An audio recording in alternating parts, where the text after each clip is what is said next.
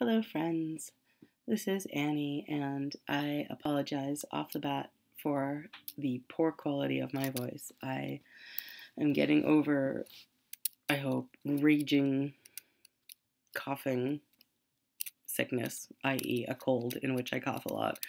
So my voice is really shot, and there will be little to no singing and possibly some coughing in this video, and I apologize in advance. But without further ado, I thought I would do a video of stuff that sold last week because I kind of really like watching those from other people. It's a fascinating little voyeuristic glimpse into what other sellers, resellers are finding and selling and pricing and just stuff. It's out there, possibilities, ideas. So uh, you might not find these particular random, very random bits of this and that, but it might give you some ideas of similar, related, random bits of this and that to look for when you're out on your journeys.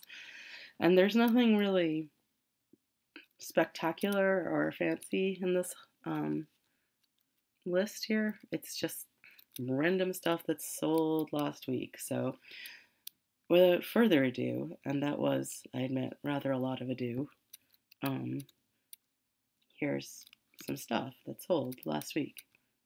Okie dokie.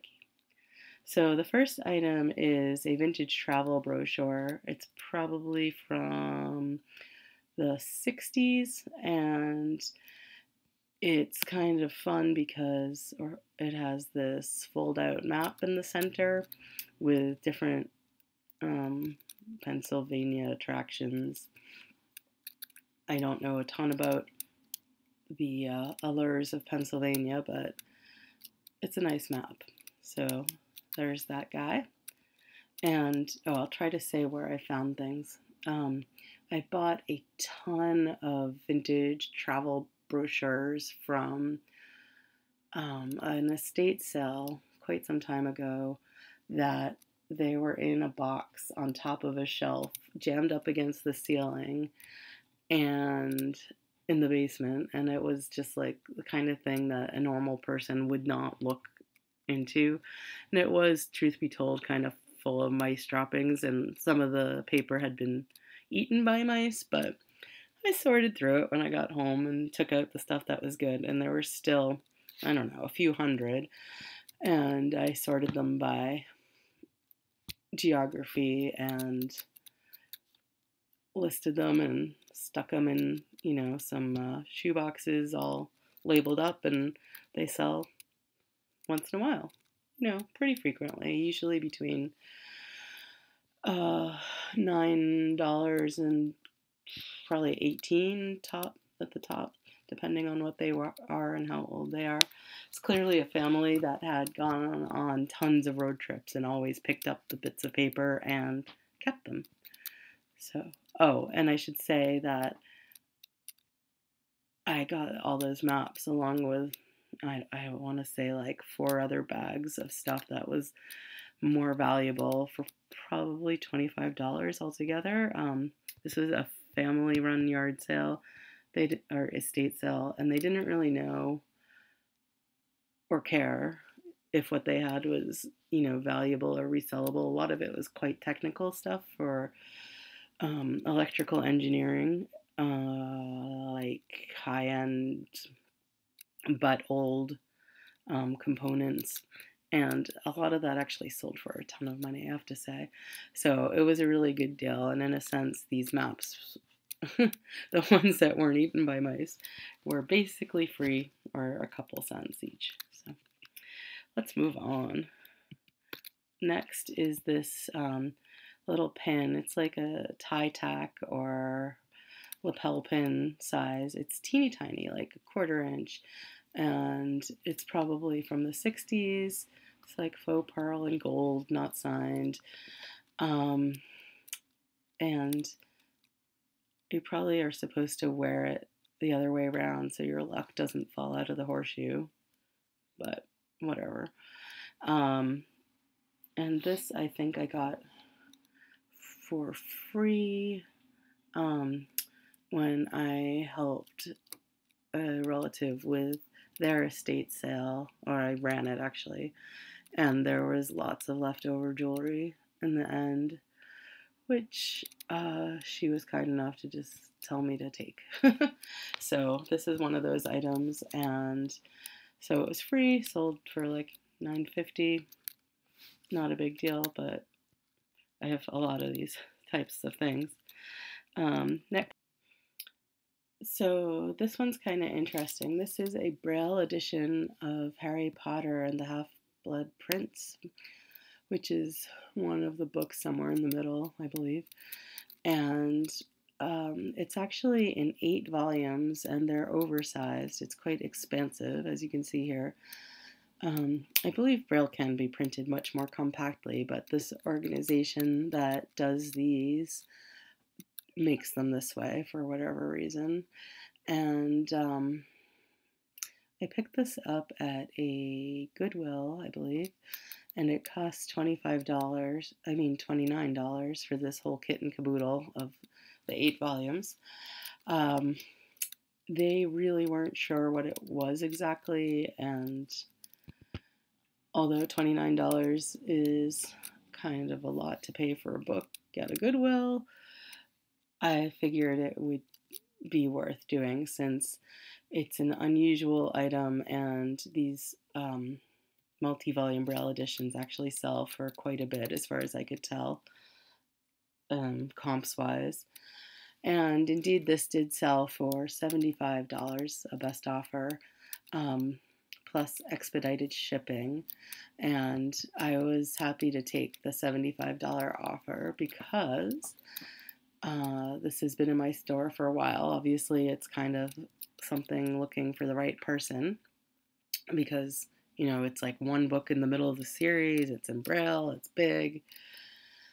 Um, and the person who bought it wanted to get it across the country from the East Coast to the West Coast in three days um, for someone's birthday, I think.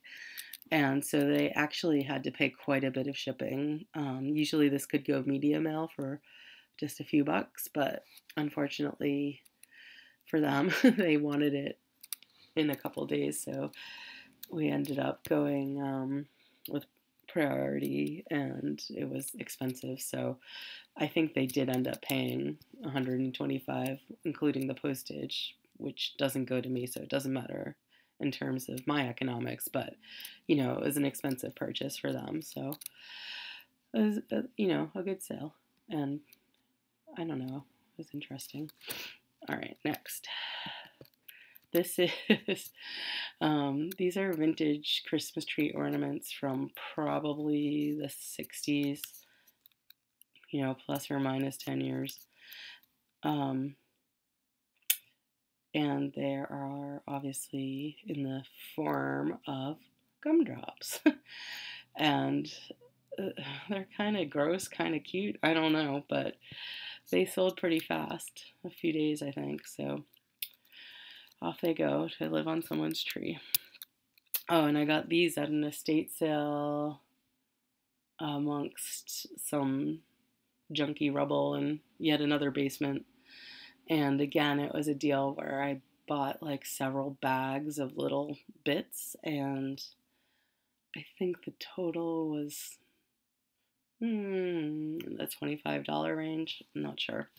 Something like that, but I got a lot of other stuff, mostly, oh, maybe in this sort of price range, sort of like 15 to $30 items, but a lot, a lot, a lot of them. Actually, I think this is also no, I'm getting my seat cells confused. Never mind. All right, next.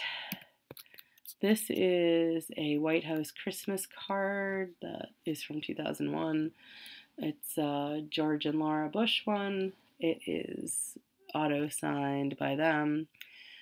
But it's, you know, it's kind of nice. It has a seal and it was actually printed by Hallmark, which I thought was interesting. They must just do a ton of them. And um, Hallmark does them for some reason.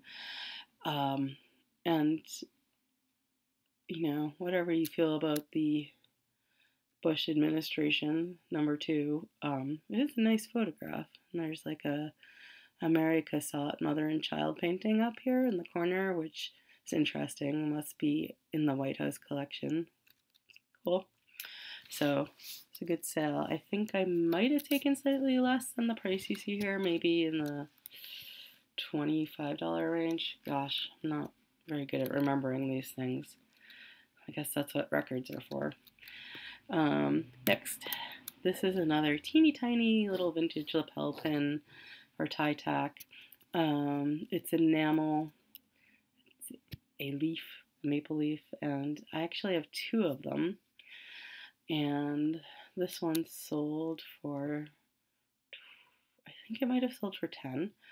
And it was actually going to Canada, believe it or not, shockingly. And the, again, these are really tiny. It's like, mm, less, it's like uh, probably quarter inch or something. Um, cute little pen. Next. This is a vintage Christmas card from the 40s, and it's obviously a wartime patriotic theme with a cute puppy. Is a really nice graphic print. The background's silver. Oh, here's the full image. It's, you know, kind of nice, a nice uh, minimalism look, streamlined, and, um, it, you know, it's kind of fun. And inside, there's the cute doggy again. It's somebody's personal um, card. It has a little tape damage on it, but and it's small. It's like four by six, but it goes to show that you can sell a single Christmas card with a good image that's been used and has tape damage. Um, I have a ton of vintage cards. I have scored them at a couple different estate sales, and I just have heaps and heaps and heaps of them. So when I have time, I I uh, scan them or photograph them and stick them up and usually, you know, trying to anticipate the correct time of year and some portion of them sell. I feel like these cost, again, almost nothing. They're in one of these estate sale halls where I got bags of stuff that I paid, you know, 20, 30, 40 dollars for at the most and it appeared to the people selling it like like heaps of old trashy paper that no one would want. But to me, it is 9.50. it is Christmas cards worth $9.50. Anyway, next. This is a little watch pendant. Um, again, this was free from my aunt's estate, I believe. And it's it's vintage. It's not um, high end or fancy in any way. I think it's probably mm, 60s, but it could be 80s, hard to say. And it does work. It is a wind up watch clock and it ticks. And this went overseas somewhere, oh, I forget, Europe somewhere. And so there you go. Sorry, I'm not making this entertaining enough. I'm gonna try harder. Next, um, this this is a monkey on a banana leaf. this is a um, Fitz and Floyd brand ceramic dish. I have no idea what you would use this for. Um, maybe, mm, I don't know. It's a few pieces of cut in half asparagus uh, toothpicks. Um, I don't know, but it's it's um, I guess Fitz and Floyd did a series of this all white glazed ceramic stuff with monkeys. I also had some um, salt and pepper shakers of monkeys that sort of hugged each other that match this more or less. And so this brand is collectible. Um, this is, let's see, 1977. So not super old, but not super new. and it's signed and marked and dated, and so here we go. Um, this probably took six months to sell. The salt and pepper shakers went right away. So that's a brand to look for if it's an interesting, unusual piece. Next. Oh, here's a bottle of shampoo. This is the really glamorous part of my job. So this is an RA deal. Um, I paid a dollar for this. It sold for eighteen fifty. I actually offered free shipping on this, which I never do, um, because it's a you know mass-produced consumer item. This brand actually is probably discontinued. It just filed for bankruptcy, so look out for Nature's Gate, I guess, and check comps. Um, I thought I would. I found a place to get Nature's Gate products for a dollar, so I thought I'd experiment and see how they sell as the bankruptcy proceeds. And this is this sold in a couple days, and it sold for eighteen fifty, which is crazy for a bottle of shampoo, but I also, it's heavy, so I shipped it in a padded flat rate, which cost me seven fifty five. So I made about ten bucks. Well, yeah, with and then fees, so about ten bucks. Oh, and my one dollar, so about nine bucks. So that could be good in bulk. I did buy a whole bunch of it for a dollar a piece. Oh, not just this one, different kinds of things. So we'll see how that pans out. And if it doesn't pan out, I will have very clean hair or sell them in bulk for less money. All right, next. This is a record that's a one sided, um, I guess you would call it an Edison style, even though it's not an Edison disc. It's, um, it's a little thicker than your average 78, a little older. Um, this is from 1901, and it's a patriotic song. Um, pre World War One, though, like significantly pre World War One. Um, it's in reasonable condition for its age. It's not great. It does. It has um, little nibbles on the side, but they're not into the music. And this is the back. It's you know just nothing. So um, I actually put this on auction as an experiment and I did the kind of auction where you can get offers and I got several offers for more than it actually sold for. So that is a lesson to me um, to take the offers if they're high enough. I just honestly wasn't sure uh, if the right person would come along and want to pay more for this. So apparently not. Apparently they were not online that week and so this sold for 950 it came from a lot of um, 78 records i bought for $10 for about at least 50 records maybe closer to 100 so i have 50 cents probably into this next um, this is kind of interesting. This is just a little brochure of cocktail recipes. And what's interesting about it is that it was actually designed by Joseph Binder, who is an obscure but famous in some circles graphic designer. Um, he was born in Austria in the turn of the century, like the late 1890s, and he did a ton of really interesting graphic work um, over the years. And this is just some commercial product project he got at some point um, for this liquor company. I think the the inside is um, for the era really more impressively designed than it looks like today. Um, if you think about your vintage um, recipe booklets, they're not this nicely laid out, but it with today's standards, it looks kind of run of the mill. But I think the cover is what's really great. This illustration with the really graphic um, glasses and the cocktail shaker. Just the way he did the glasses, it's very minimalist. With like, see how the the uh, highball glass has no bottom; it's just implied by the faceting. It's cool, and this is also printed in these great colors. This like teal, peacock blue, and gold and orange. It's just kind of evocative of the swanky Mad Men cocktail era. Um, I think I pulled up. Oh, look, I used the word swanky in there too. I guess that's how I feel about it.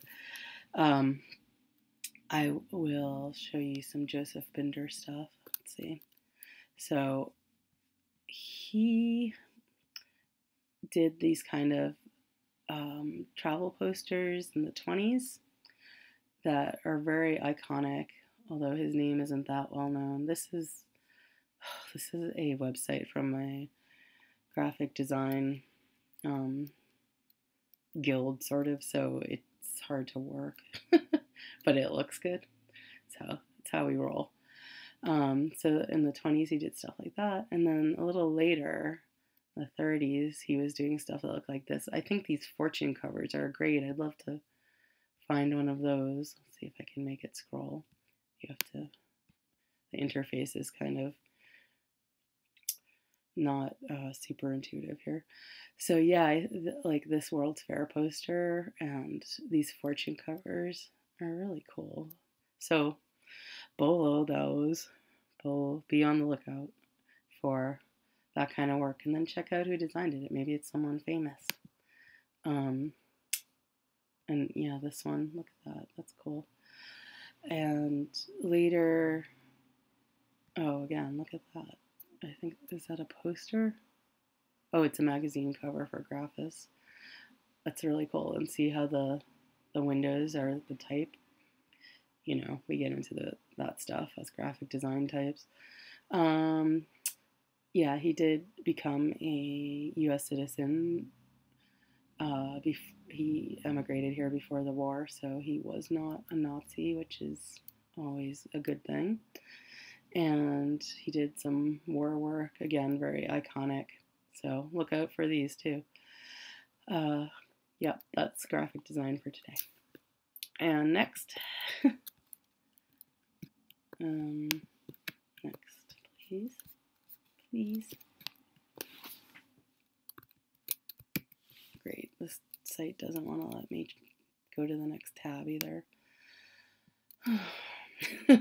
okay this is a postcard. Looks like this. It is, um, there's a series of these because I'm sure I have others or I've seen others. It's early, it's like 1906 ish, and it's from Canada. Has a photo and some printing and some writing, and it's a an undivided back style uh, private postcard. So I don't sell that many Canada postcards, so I tend to pick them up because I'm kind of a Canada file. Um, but you know, once in a while.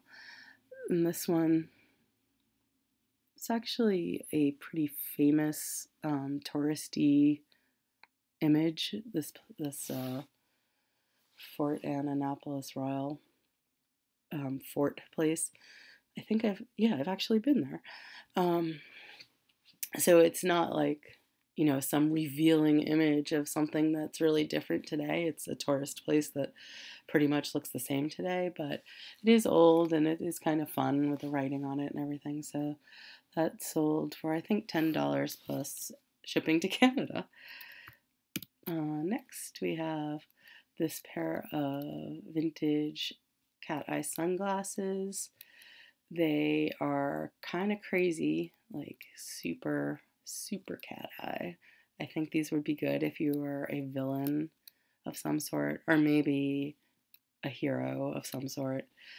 Um, I picked these up for $5 at an estate sale along with some other glasses, and they sold for a best offer of $75 in about two hours after I listed them. These went really fast. They are they are cool. so there's those. And then these, also from the same place, I got these for $5. That these are Army issue um, World War II era um, flexible leg glasses in their original case, and it has this whole thing about taking care of your glasses because it's expensive to give you more of them written on it. And a little hard case, and they're just kind of boring wire rims, but the army part makes it more interesting. And I did list these under um, a military section, not a glasses section. And these sold for $65, and I want to say it was later the same night of the day I listed them. It was really fast. So another bolo.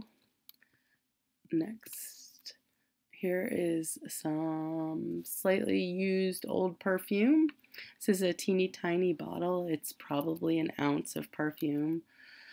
And it's vintage, but I don't know how old. And I know nothing about this brand, but I do know that when you're at an estate sale and you find something really smelly like this, you should look it up because people are looking for these older things that may be out of stock or, or out of, you know, discontinued or smell different now, or they have nostalgia for some relative that used to wear it or some such.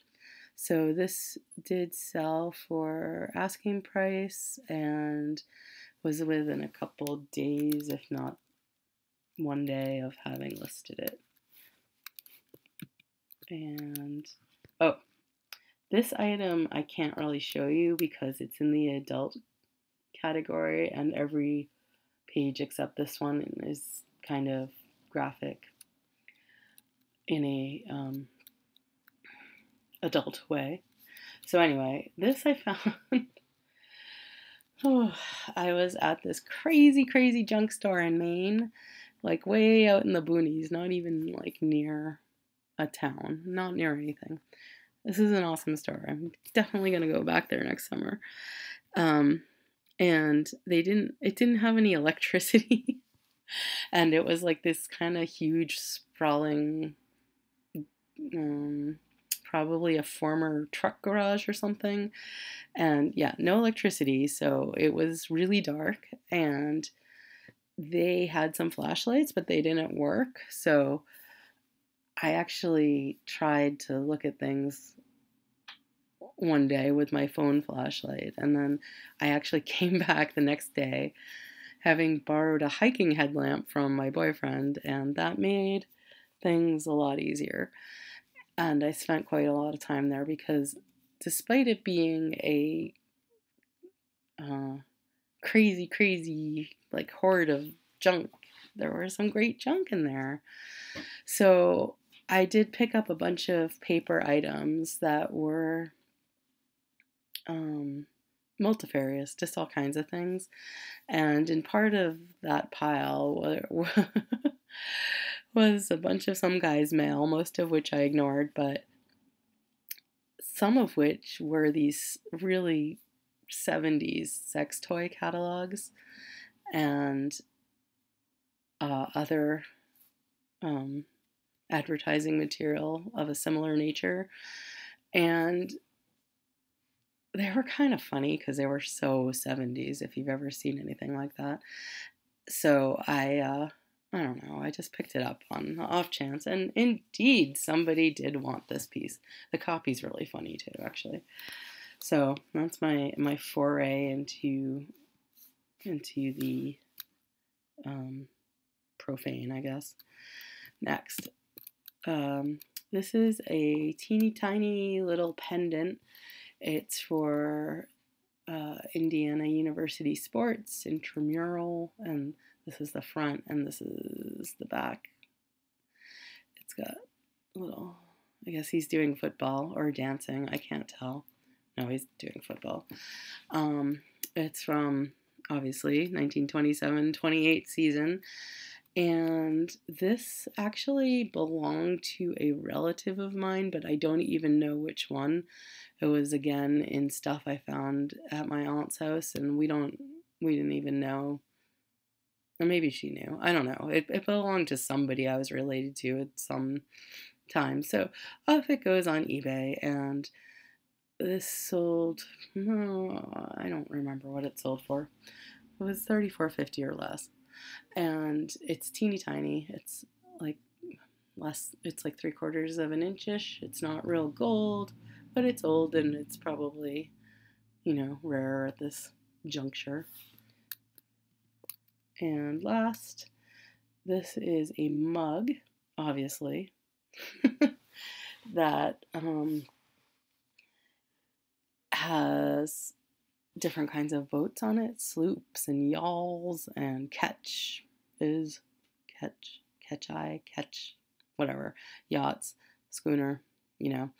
And i picked this up i think at a thrift shop for a couple bucks a long time ago because i recognized the shape as being something that um my dad had mugs like this on his sailboat when I was a little kid in the 70s, this um, particular cone shape and then a small, smaller top with the rubber on the bottom. And when you're on a sailboat, this is a good shape for your mug because it doesn't move around and it doesn't spill. And I, I just haven't really seen these around. And so I thought this would appeal to some, you know, sailor person.